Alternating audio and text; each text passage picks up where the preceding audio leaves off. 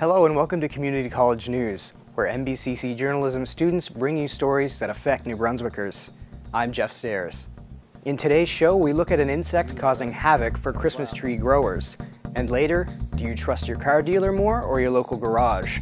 But first, Canadians tossed over 25 million tons of waste in 2008, and food products make up a huge portion of that. Michael McDonald has more on saving our scraps. Food spoils, and we don't often eat everything we cook. But are Canadians letting more go to waste than is necessary? Well, uh, I've worked in a couple restaurants in my younger years, and I've seen a lot of waste that way.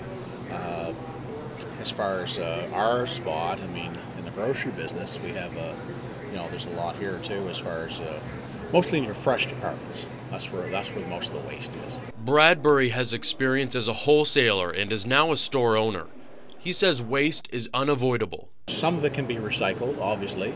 I mean, you can use some things, but a lot of things you can't. You know, tomatoes get soft and old. I mean, things like that. That just that gets thrown out. That's just uh, just the nature of the business, unfortunately. Canadians at home trash almost 9 million pounds of garbage a year. Well, they say that uh, about 30% of the food that's produced in North America eventually is wasted.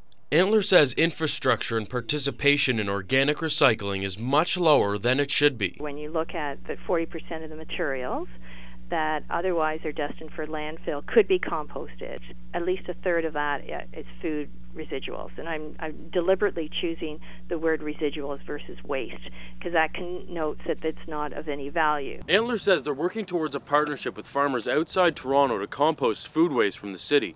Bradbury said he'd be interested in a program like that, but is unaware of any in the area. In Woodstock, Michael McDonald, Community College News. Christmas may be eight months away, but tree growers are making sure their stands are ready. As Jill Constantine reports, an insect is causing trouble for some maritime Christmas tree growers. Every year, 350 Christmas tree growers in New Brunswick produce about 500,000 trees. Many trees don't make it to market because of a tiny fly called balsam gall midge. It's just an insect that um, it lives part of its life cycle in the needle of, of the balsam fir tree. And the reason we care about it is because it makes the tree ugly. Um, it's kind of like a pimple on the needle. Drew Carlton is part of a research team studying gall midge. They are trying to find better ways to control the fly. The first step in control is to develop better monitoring techniques using pheromones. When the densities are very high, which I've seen in, in, in several stands, um, what happens is the needles fall off prematurely, usually within a season or two at most. Bill Coleman has been growing Christmas trees for 35 years and is letting Carlton monitor his trees for the gall midge. Four to 5,000 trees that have been that had been infected. Well, back here in the wild stand, I probably only cut uh, 20 trees. Last year, where normally I would cut about 300. Coleman's trees were hit heavily by gall midge in 1989. Since then, he has lost many trees. Coleman hopes that by taking part in the study, future growers will have a better understanding of gall midge. In Windsor Settlement, New Brunswick, Jill Constantine, Community College News. The Provincial Forest Fire Center is on high alert. Forest fire season officially started on April 2nd, but crews were putting out grass and forest fires well before that. Brad Perry has more. A warm spell early this spring caused snow on the ground to melt earlier than normal. The grass also dried out quicker, increasing the risk of grass and forest fires. We're picking them up uh, probably between Woodstock and South all the way down to St. Stephen. There were no grass or forest fires reported by the end of March last year, but this year crews have already put out more than 50. Now, a lot of times the grass will advance into the woods, which then it's in the forest fire, then unless we notify the DNR, and they have to come on scene. Unless the weather cooperates, Betts says the number of fires will remain high. If we keep getting rain every third day, fourth day, um, that usually keeps the fires down. But if not, you know, we get a couple of three days of sunshine, we can have uh, have some uh, pretty good fire activity. In many areas, the ground is covered in dry leaves, the perfect fuel for a grass fire. They have contributed to more than 110 hectares of land being burned. There are things you can do to help protect your property from fire, such as cleaning up dry leaves and grass. Having green grass surrounding your property can also be helpful. Grass fires will burn up to a green lawn and then stop. So it's not a concern unless, you know, you have dead grass right up to the side of your house, long grass. Fires have already been restricted in southern New Brunswick this year because of dry conditions. Your local Natural Resources office can tell you when burning is restricted. In Woodstock, Brad Perry, Community College News. Coming soon on jschoolnbcc.ca, our special documentary series continues.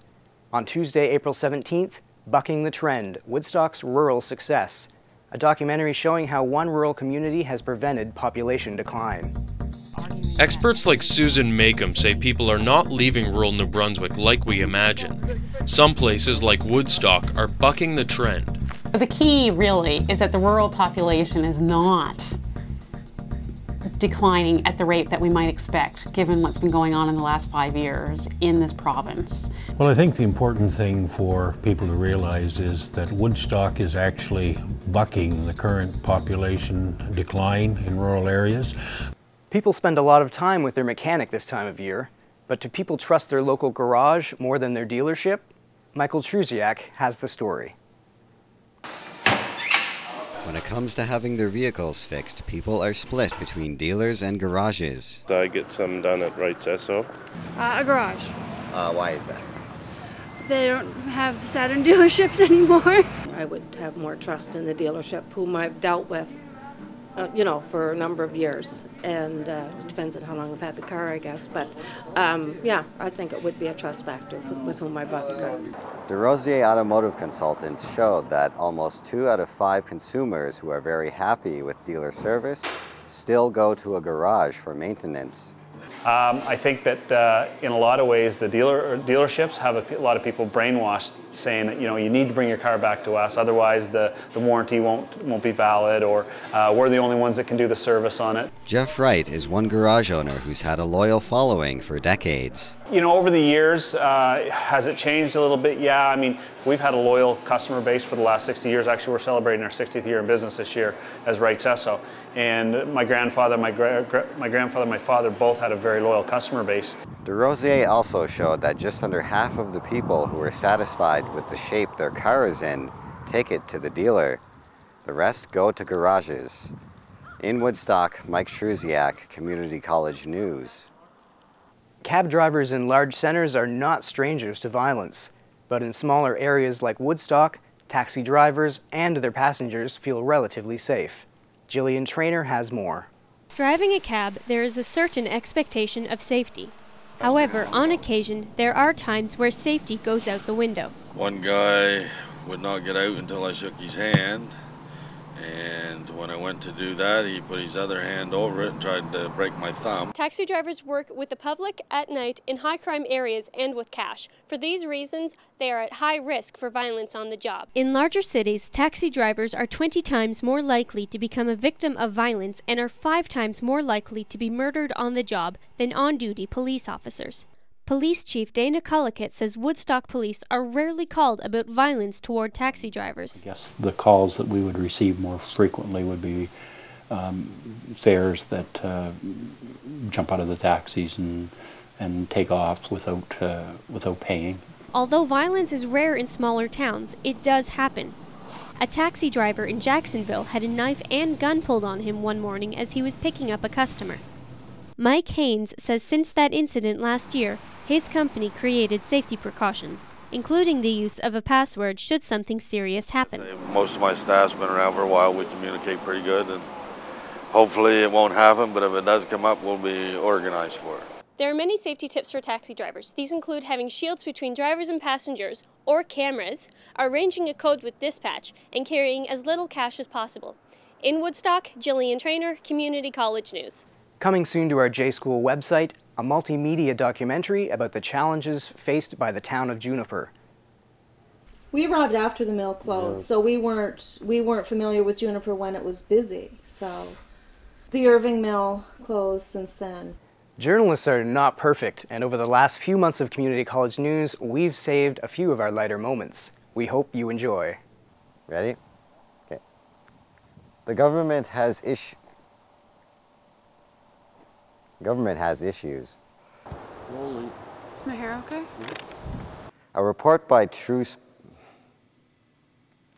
a, ah!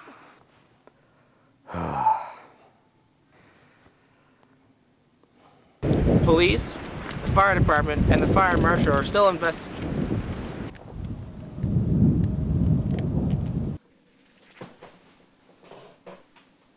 The simple luxury of walking into a library or bookstore and taking a book off the shelf.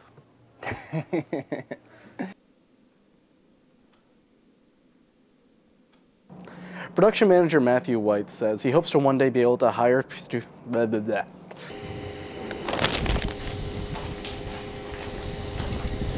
He says, You won't stop. Hey, man. "Hey, Boucher explained that Quebec all. Uh, uh, uh, Anybody who buys this is going to need a tracking device. They're going to lose it in a, my mind. Uh, I want to punch something. Boucher. Stop it, dog! Sit. Sit. Sit. Stay. Let's just do one go. Come on. You can do this, guy. Other farmers feel that selling a product under the name Organic. Organic. In Woodstock, Mike Trusiak, Community College News.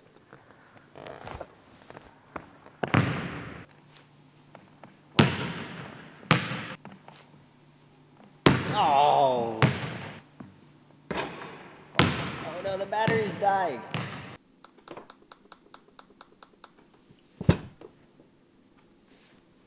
Oh.